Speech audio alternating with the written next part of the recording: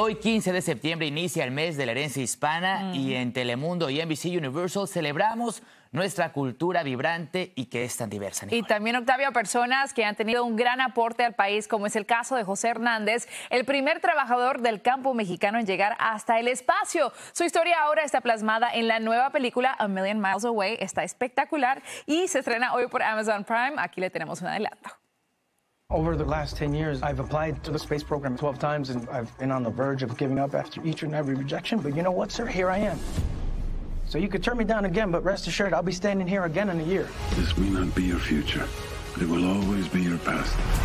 Who better to leave this planet and dive into the unknown than a migrant farm worker? Yo ya me muero por verla y es que desde un pequeño pueblo en Michoacán hasta las estrellas, imagínese usted, en este film conoceremos los sacrificios de José Hernández para formar parte de esa misión STS-128 de la NASA. También como sus padres, su esposa Delita y sus cinco hijos fueron sus pilares para salir adelante. Aquí la entrevista con José Hernández y la directora de la película Alejandra Márquez Abella.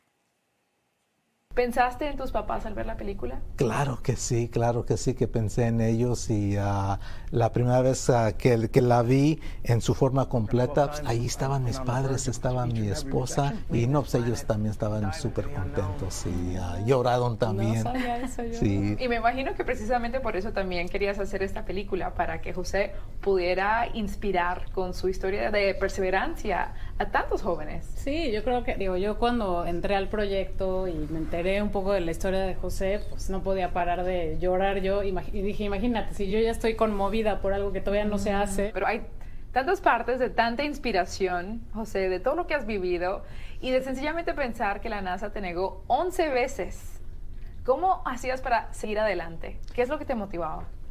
Pues yo creo que al principio yo, obviamente a nadie le gusta el rechazo y, yo me daba pues a tiempo de ponerme de luto cuando me rechazaba. Decía, ay, no me quieren, pero luego decía, bueno, uh, tú sigue adelante. Y no fue hasta la sexta vez que finalmente dije, sabes que ya, esto ya terminó aquí, truena, ya se acabó mi sueño. Y Adelita fue la que me apapacha. Yo pensé que me iba a apapachar por decirle que ya no iba a seguir adelante, me iba a dar una taza de chocolatito con un bolillo. No fue nada de eso, más bien me dijo, oye, pues, ponte las pilas. José, lo haces ver todo tan fácil. ¿Cuál es tu clave al éxito? El clave al éxito pues, es la receta de mi papá.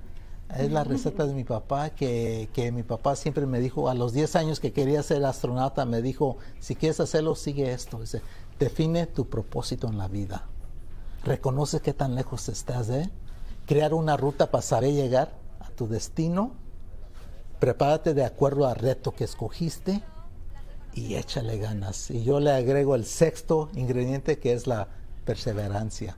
¿Por qué el público debería ver A Million Miles Away? Yo creo que no solo retrata una historia excepcional y increíble, no es nada más una historia de un astronauta, es también eso, una, un cuento sobre la tenacidad y la inspiración que tenemos la comunidad latina, pero, pero cualquiera también, no es un cuento universal. Ponerle ejemplo a los padres de decir, miren, sus hijos pueden llegar a ser como José si invierten su tiempo y, y están allí tras de ellos para que estudien. Les confieso, te confieso, Octavio, que lloré al ver la película porque la verdad uno se siente identificado como migrante a este país y sabemos que aparte de ser astronauta, él ha tenido muchísimos logros. Es escritor, conferencista, también eh, se postuló para la Cámara de Representantes, también eh, recibió el Premio Nacional al Héroe Hispano, así que él sin duda es una persona que tiene sus metas muy claras. Y lo escuchas hablar y es, se inspira, ¿no? Con sus palabras. Y logro para ella también la directora que es su primera película en inglés que dirige, ¿no? Me contaba. Sí, eso sí. También otra cosa que me pareció interesante es que él quiere regresar al espacio y su hijo también quiere ser astronauta. Así que tal vez los veremos de nuevo en el espacio.